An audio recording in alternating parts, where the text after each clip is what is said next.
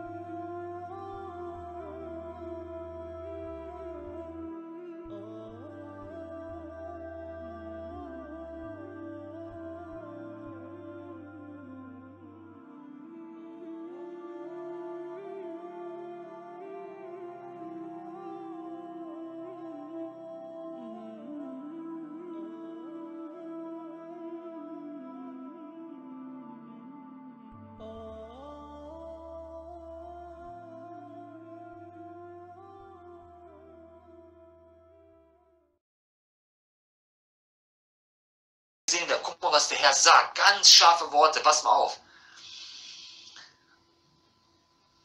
Ich lese den ganzen Abschnitt vor, das ist einfach nur wundervoll. Matthäus 6, guck mal, wie der Herr Jesus Christus zu den Muslimen spricht und die verurteilt. Pass mal auf.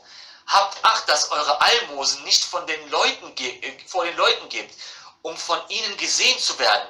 Sonst habt ihr keinen Lohn bei eurem Vater im Himmel. Wenn du nun Almosen gibst, so sollst du nicht vor dir herposaunen lassen, wie es die Heuchler in den Synagogen und auf den Gassen tun, um von den Leuten gepriesen zu werden. Wahrlich, ich sage euch, sie haben ihren Lohn schon empfangen.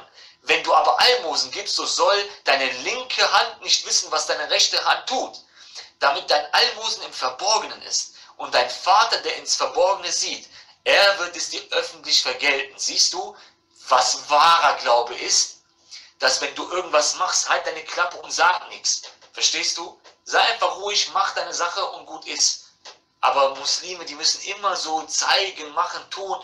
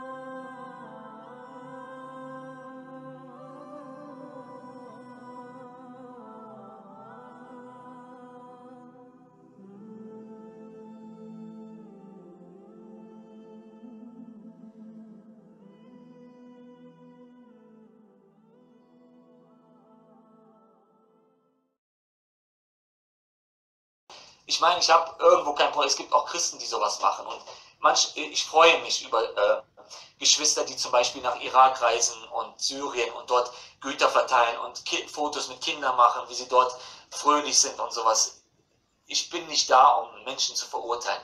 Aber der Herr, ich überlasse das Urteilen und Verurteilen den Herrn Jesus Christus. Also das Verurteilen. Ich urteile über einige Sachen, die ich zum Beispiel bei den Muslimen sehe. Und ja gut, ich verurteile auch einige Sachen. Aber im Großen und Ganzen möchte ich versuchen, so gut es geht, ja, nicht diese Art und Weise an den Tag zu legen. Versteht ihr? Weil am Ende werden wir selber dafür gerichtet, wenn wir andere richten. So. Deswegen versuche ich immer locker zu bleiben. Ne?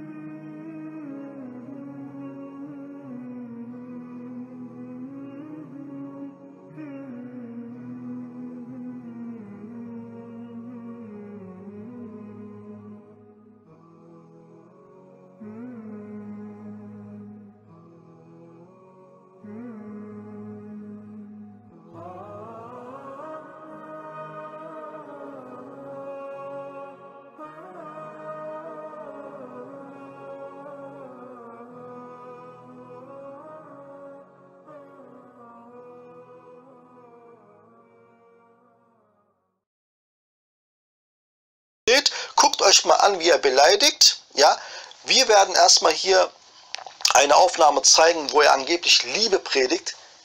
Vor Kamera, vor Leuten, manipuliert, ein Lügner ist, ein richtiger Antichrist. Schaut euch mal an, wie er hier redet in dem Video. Ich wünsche dir alles, alles Gute und auf, dass wir uns eines Tages begegnen, dass ich dich in meine Arme nehme und dir sage, dass ich dich liebe. Ja, auch wenn du nicht mein Bruder bist. Dennoch möchte ich dir, weil die Liebe Gottes ja in mir ist, weil die Liebe Gottes ja in mir ist, möchte ich dir dennoch sagen, dass ich dich liebe. Und jetzt, subhanallah, Liebe, Liebe, Liebe, ich bin für Liebe, mein Herz und dies und das, sowas erzählt er hier gerade. Jetzt hört ich das doch nochmal hier an. Was denkst du eigentlich, wer du bist? Was kontaktierst du mich überhaupt? Wie kannst du es wagen, so über den Bruder zu sprechen, ha? Überheb dich mal nicht, Kleiner. Sei mal froh, dass ich dir überhaupt antworte. Frecher. Was denkt er, wer er überhaupt ist? Sei mal froh, dass ich antworte. Kann man so vorstellen, kann man vorstellen, dass man so redet mit jemandem? Ja? Wenn man jemanden aufklären will, sagt man dann so, wer denkst du, wer du bist? Sei mal froh, dass ich überhaupt antworte. Wer denkst Amir überhaupt, wer er ist? Und diesen Menschen gibt ihr die Aufmerksamkeit, die Christen. Diesen Menschen gibt ihr die Aufmerksamkeit. Und ihr seid alle mitschuld. Oder ihr seid genau auf diesem Level. Genau auf diesem Level. Unterste Schublade, ja, unterste Gürtellinie. So tickt ihr dann genauso. Bengel, du. Christian Fake nennst du den? Esel, ey. Richtiger Esel. Du, was, was denkst du, wer du bist? Hast du den Islam studiert, so wie der? Weil die Liebe Gottes ja in mir ist, möchte ich dir dennoch sagen, dass ich dich liebe. Er vergöttert Was ihn. bist, bist du denn für einer? Schäm dich mal. Was meinst du, was der mit dir machen würde, wenn du vor ihm stehst? Bisschen fake, hä? Hüte mal deine Zunge oder wie du schreibst. Frecher Bengel, Alter, ehrlich. Was ist das denn bitte? Wie schreibst du überhaupt? Wer bist du überhaupt? Was kontaktierst du mich überhaupt? Hast du irgendein Problem oder was? Weil die Liebe Gottes ja in mir ist, möchte ich dir dennoch sagen, dass ich dich liebe. Was schreibst du überhaupt? Wer bist du überhaupt? Was kontaktierst du überhaupt? Man zeigt dir authentische Sachen, der zeigt dir von A bis Z alles und du hast immer noch irgendwelche Zweifel. Das kann doch nicht wahr sein. Weil wie er sich aufregt, ja? wie er sich aufregt. Statt zu sagen, okay, das ist deine Meinung. Wenn du diese Meinung folgst, dann folge. Ja, ja, ist doch. Nee, der regt sich richtig auf, weil er diese Unruhe hat im Herzen. Mann, wo leben wir denn hier? Bist du krank oder? Wo leben wir denn hier? Amir, wo leben wir denn hier? Bist du denn krank? Dass du Prince deine Seele verkauft hast? Dass du diesen Menschen, diesen Gestalt, einfach diesen Lügenbaron folgst? Blind folgst? in deinem Kopf oder wie? Wenn dir das nicht gefällt, dann guck doch nicht hin oder guck dir die Sachen nicht an, wenn du das nicht akzeptieren möchtest. Guck mal, er will, dass man ihn einfach akzeptiert, dass man einfach blind daran glaubt. Man muss daran glauben. Wenn Christian Prince was sagt, ist es die Wahrheit. Christian Prince ist der Prophet von Amir Arapur, von Dirty Pur, ja? Ist doch, dass Mursal Hadith auch in Islam Mursal, akzeptiert Mursal. wird. Der hat die ganzen vier sunnitischen Rechtsschulen gezeigt, die Mursal und Daif Hadith akzeptieren, du Esel, du. Esel. Was denkst du, was der mit dir macht, wenn wir in einer Live-Debatte sind? Der zerfetzt dich von oben bis unten. Kleiner Bengel, du. Äh. Weil die Liebe Gottes ja in mir ist, möchte ich dir dennoch sagen, dass ich dich liebe. Ja, das ist halt einfach Amir Arapur. Gibt es da viel zu reden? Da gibt es nicht viel zu reden. Das ist einfach er.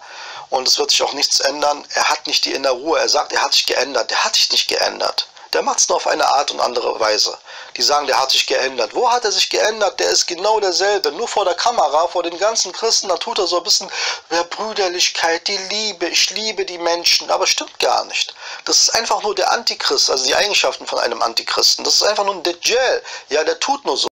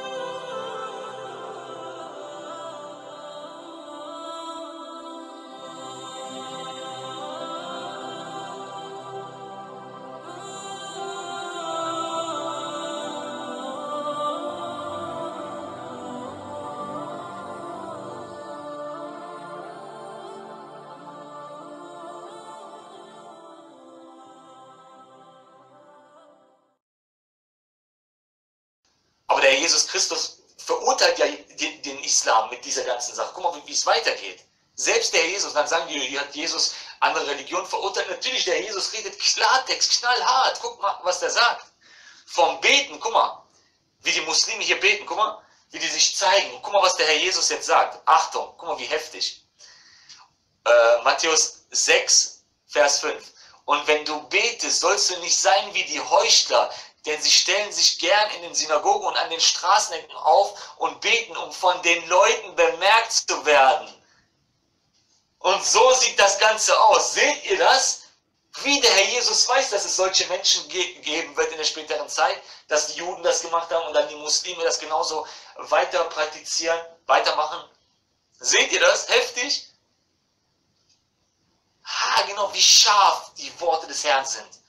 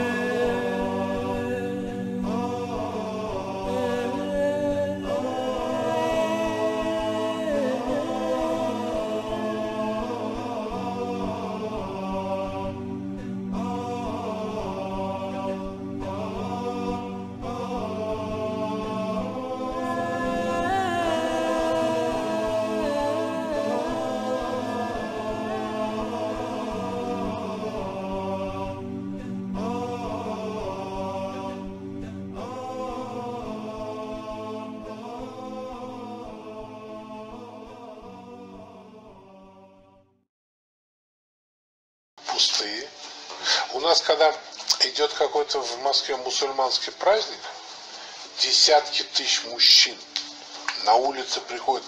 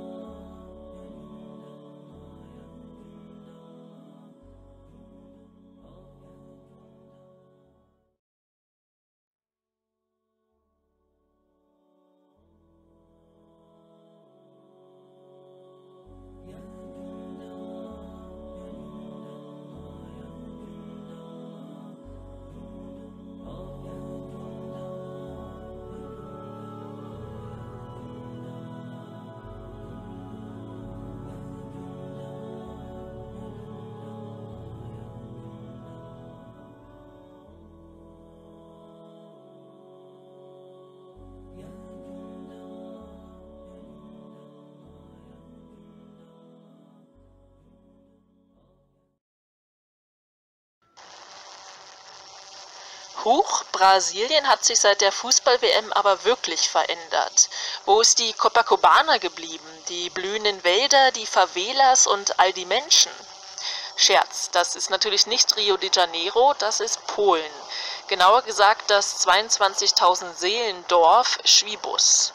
Dort steht, was viele nicht wissen, die größte Christusstatue der Welt. Sie ist drei Meter größer als ihr berühmter Zwilling in Rio. Das polnische Bildnis ist 33 Meter groß, was symbolisch sein soll für die 33 Jahre, mit denen Jesus dem Glauben zufolge gestorben ist. Die Spanne zwischen den ausgebreiteten Armen beträgt 24 Meter und die vergoldete Krone allein ist drei Meter hoch.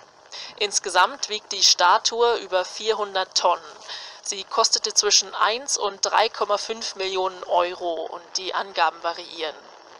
Die Idee zum Bau kam vom lokalen Pfarrer und ist nicht unumstritten.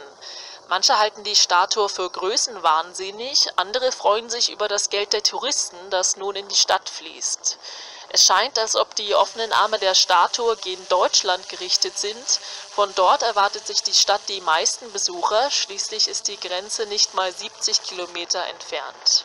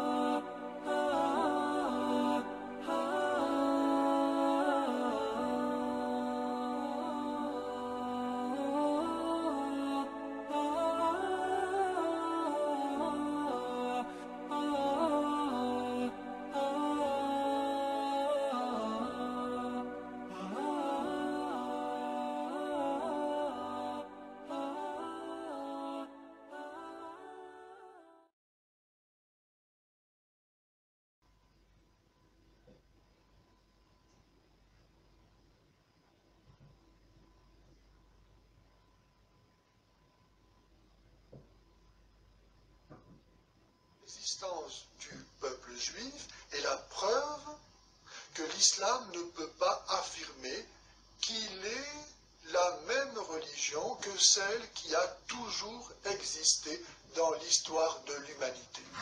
Car le peuple juif a constitué dans l'histoire de l'humanité une nouveauté radicale, un commencement absolu. Et le christianisme, qui n'est rien d'autre lui-même que l'ouverture à l'universalité du genre humain de l'alliance conclue entre Dieu et Abraham, constitue en soi aussi un événement unique et sans équivalent dans toute l'histoire de l'humanité. Ainsi donc, le judaïsme, comme le christianisme, constituent des exemples uniques qui empêchent l'islam d'affirmer qu'il est la répétition de la même religion qui aurait toujours été donnée dans l'histoire de l'humanité. Le judaïsme, comme le christianisme, ont en eux-mêmes une spécificité qui les distingue de toute autre religion. Ils ne sont réductibles à aucune autre religion. L'islam n'est donc pas la répétition de la même religion qui a toujours, soi-disant, existé dans l'humanité. Le nom dans la Torah toujours évoque l'essence. Le nom, c'est ce que tu es. C'est pas, on ne parle pas de nom donné arbitrairement. On parle maintenant de nom que Dieu donne.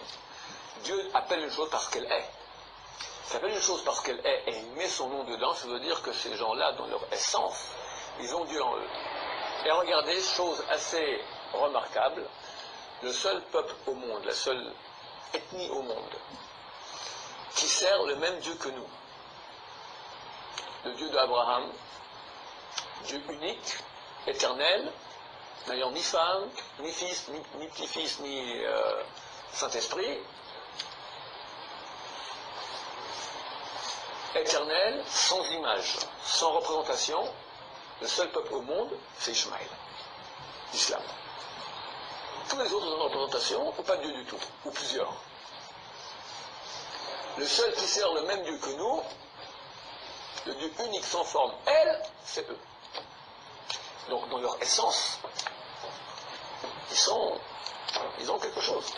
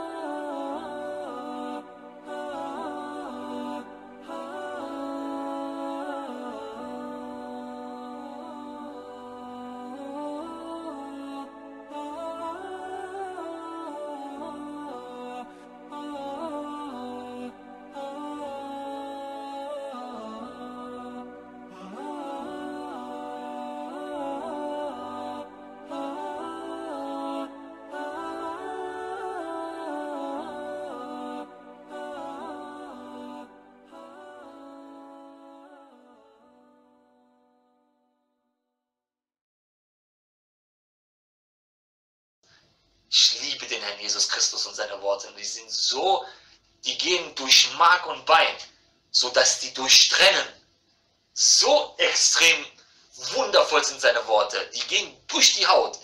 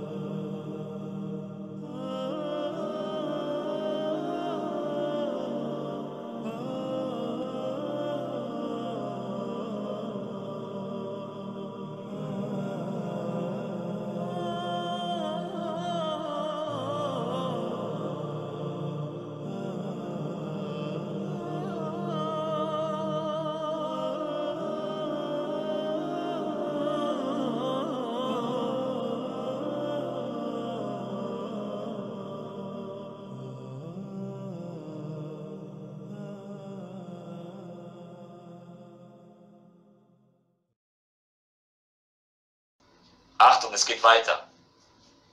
Wahrlich, ich sage euch, sie haben ihren Lohn schon empfangen. Du aber, wenn du betest, geh in dein Kämmerlein und schließe die Tür zu und bete zu deinem Vater, der im Verborgenen ist. Und dein Vater, der ins Verborgene sieht, wird es dir öffentlich vergelten. Ja, so sieht's aus. Wenn du betest, dann geh in dein Zimmer, schließ dich ein und sei ruhig. Bete im, im Geiste den Vater an und lobe den Gott, den Allmächtigen, den Schöpfer des Himmels und der Erde, aber für dich selber. Nicht, dass du dich in Straßenecken, an Straßenecken hinstellst und so scheinfromm spielst. Sowas will der Herr Jesus gar nicht. Sowas will der Gott, der allmächtige Jesus nicht. Der will nicht solche Heuchler haben. Der will echte, wiedergeborene, heilige Christen haben. Natürlich bist du nicht perfekt, ich bin auch nicht perfekt. Aber wenn der Herr Jesus Christus sowas verurteilt, dann sei mal gespannt, was dich auf dich dann wartet, wenn du in den Tod gehst mit dem Islam oder einer anderen Religion.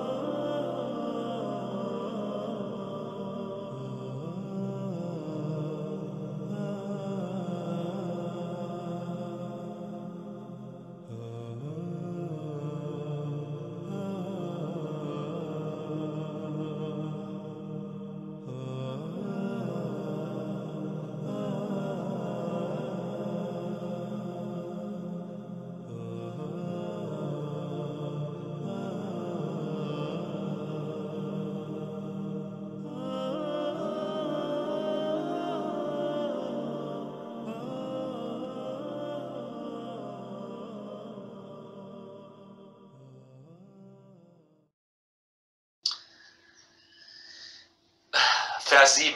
Und wenn ihr betet, sollt ihr nicht plappern wie die Heiden, denn sie meinen, sie werden erhört um ihrer vielen Worte willen. Ihr wisst ja, wenn Muslime einmal anfangen zu beten, dann reden die ja ununterbrochen.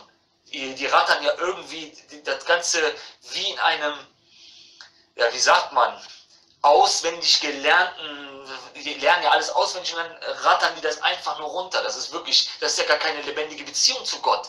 Das ist einfach nur etwas auswendig gelerntes und dann einfach runtergebrettertes und schnell fertig machen und ah, okay, jetzt habe ich mein Gebet beendet. Fertig.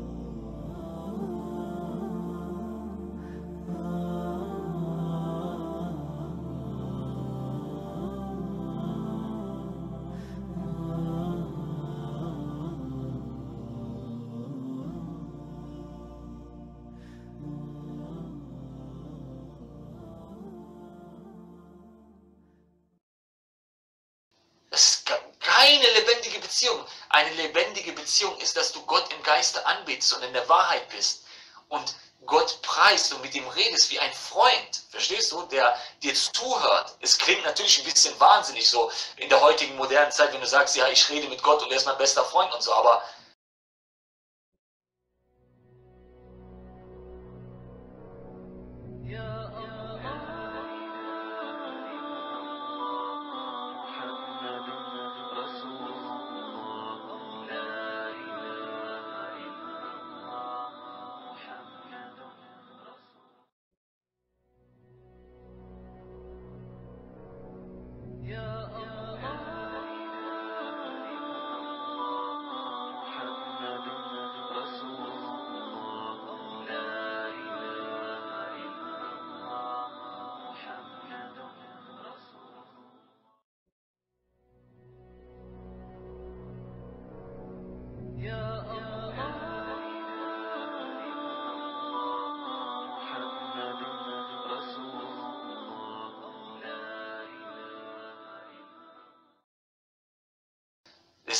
egal, was die Menschen von dir halten, wenn du an Gott glaubst, so glaubst du an, ja, an etwas Höheres. Und wenn du an etwas Höheres glaubst, dann kann dieser Gott nicht so zu den Menschen kommen und denen sagen, ja, hier bin ich, komm, hier komm und bitte mich mal jetzt an. Nein, Gott offenbart sich in unseren Herzen auch. Er zeigt, dass er da ist. Allein, wie ich auch gesagt habe, zu den Atheisten, die ja nicht an Gott glauben, die Schöpfung beweist uns, dass es einen genialen Schöpfer gibt. Und deswegen sage ich auch zu den Atheisten, macht euch bitte Gedanken.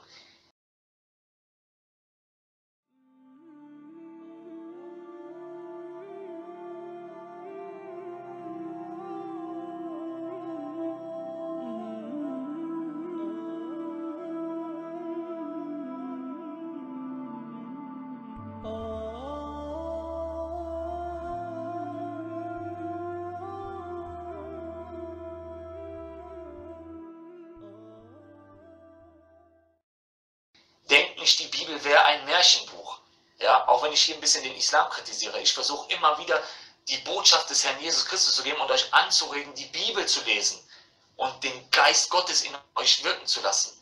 Bittet den Herrn, wenn ihr einmal die Bibel wenigstens aufschlägt, macht das doch, seid doch mal einmal so. Schlagt einmal die Bibel auf, sagt, Gott, wenn du wirklich wahrhaftig bist, dann lass mich dich erkennen durch die Schrift. Na, mal gucken. Dann lies mal einfach ab Matthäus Evangelium und durch. Das will ich mal sehen, was das in dir dann auslöst.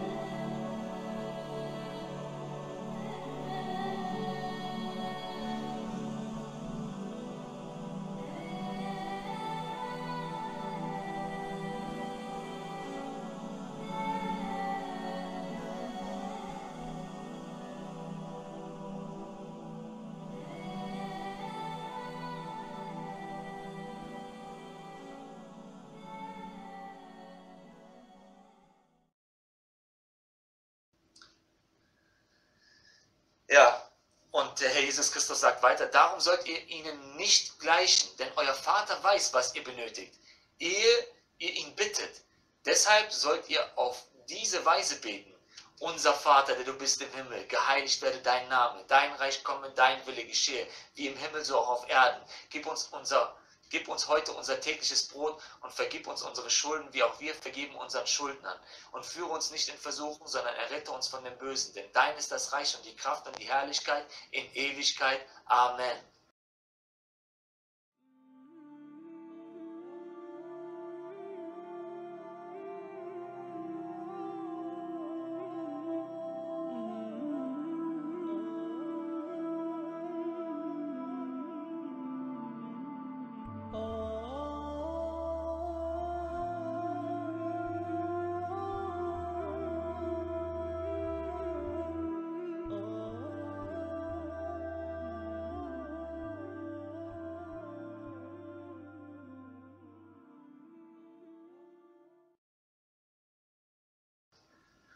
Denn wenn ihr den Menschen ihre Verfehlung, guck mal, wie wunderschön der Herr Jesus das sagt. Denn wenn ihr den Menschen ihre Verfehlung vergibt, so wird euer himmlischer Vater euch auch vergeben. Wenn ihr aber den Menschen ihre Verfehlung nicht vergibt, so wird euch euer Vater eure Verfehlung auch nicht vergeben. Ja, so ist das. Wenn uns zum Beispiel jemand beleidigt, anmacht, äh, eventuell schlägt oder was auch immer. Wenn wir nicht bereit sind, weil wir dem Herrn Jesus Christus ja dienen, und das ist ja brutal, dem Herrn Jesus Christus nachzufolgen. Das ist so schwierig. Und dann kommen Muslime und sagen, "Hey, Christsein ist einfach. Ja, jetzt will ich mal sehen, ob Christsein einfach ist.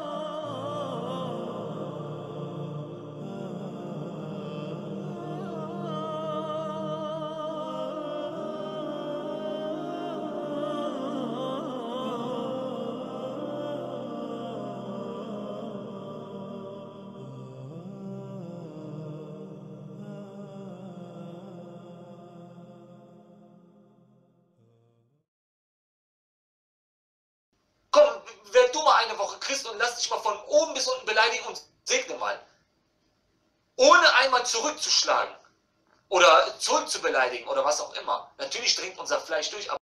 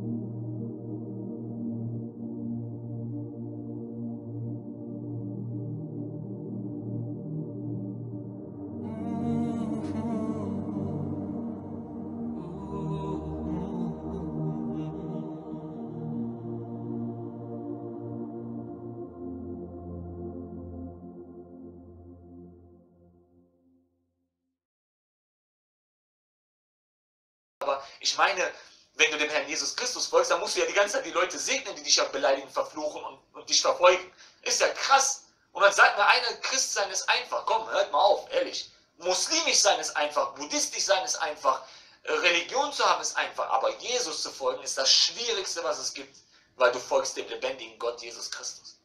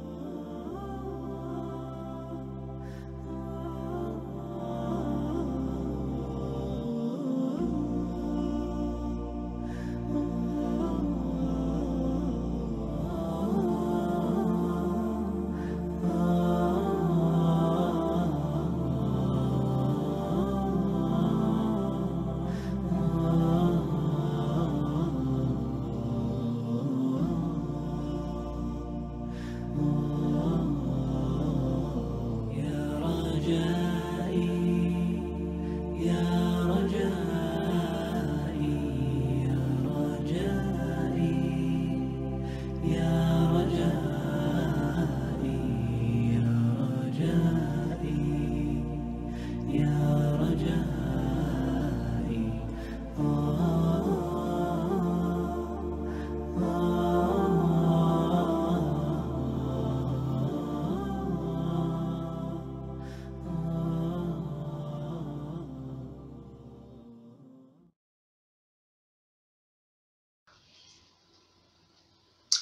Achtung, jetzt kommen wir zur Lieblingsstelle.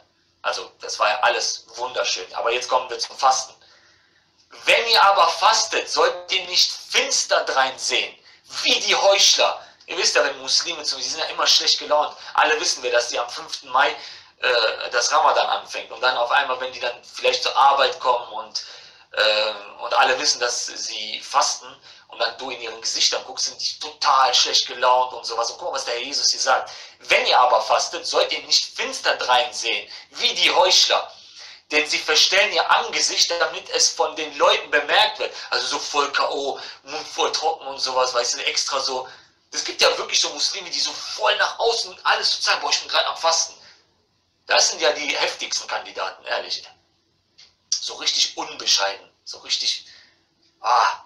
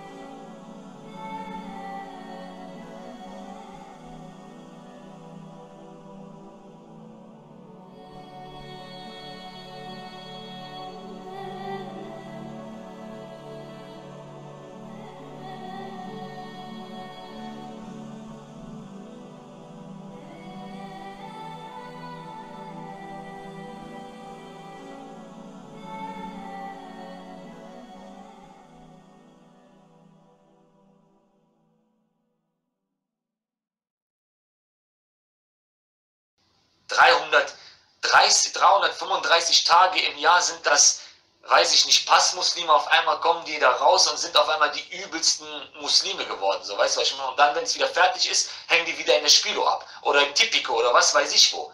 Versteht ihr, das ist so krass. Ja, komm, reden wir mal Butter bei der Fische hier, so, weißt du, was ich meine? Das ist so, das ist knallhart, so wie ich sage, ist auch richtig. Muslime, die hier in Europa leben, sind 330 Tage lang keine Muslime und an Ramadan machen die mir ein auf, äh, ich bin der gläubigste Typ überhaupt, so weißt du, was ich meine? Und haben 330 Tage lang nichts mit Gott zu tun. An Ramadan sind die mir alle die heftigsten Gläubigen und Mashallah, Inshallah, Alhamdulillah und was weiß ich. Auf einmal kommen die mit den heftigsten islamischen Wörtern um die Ecke. Ja, komm, hör auf, echt. Ich bitte dich.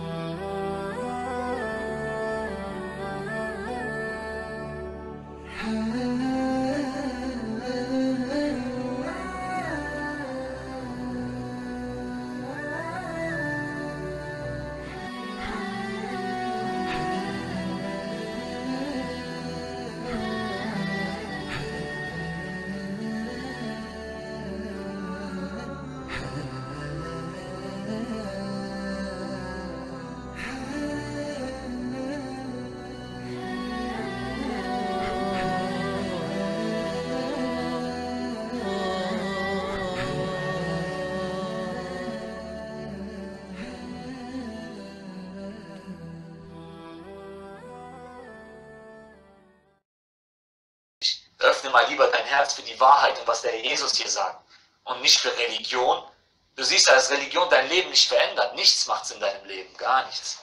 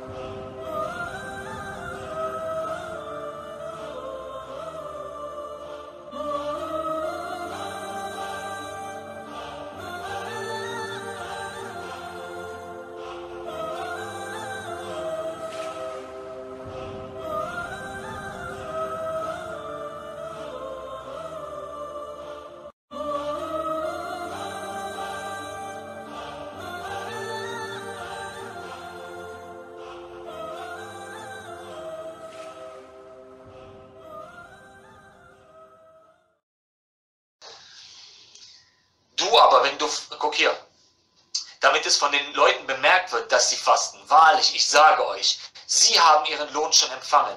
Du aber, wenn du fastest, so salbe dein Haupt und wasche dein Angesicht, damit du immer frisch aussiehst. Damit es nicht von den Leuten bemerkt wird, dass du fastest, sondern von deinem Vater, der im Verborgenen ist. Und dein Vater, der ins Verborgene sieht, wird es dir öffentlich vergelten.